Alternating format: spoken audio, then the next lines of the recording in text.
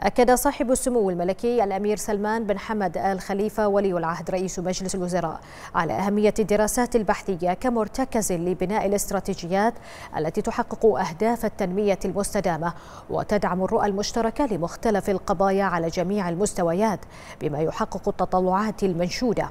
منوها سموه بدور هذه الدراسات في مد جسور التواصل الحضاري والثقافي بين الشعوب وتعزيز أسس الحوار بما يحقق التقدم والتطور للمجتمع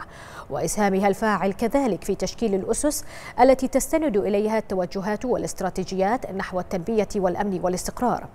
وأشار سموه إلى مواصلة العمل على تعزيز الاهتمام بالدراسات البحثية بما يسهم في رفض منظومة البحث والتطوير ويحقق التقدم والنماء.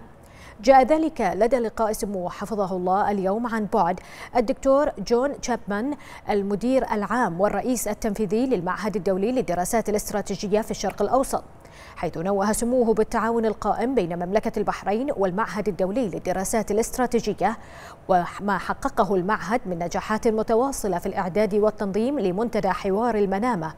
بما أسهم في مواصلة تعزيز مكانة المملكة على الصعيدين الإقليمي والدولي. من جانبه أعرب المدير العام والرئيس التنفيذي للمعهد الدولي للدراسات الاستراتيجية في الشرق الأوسط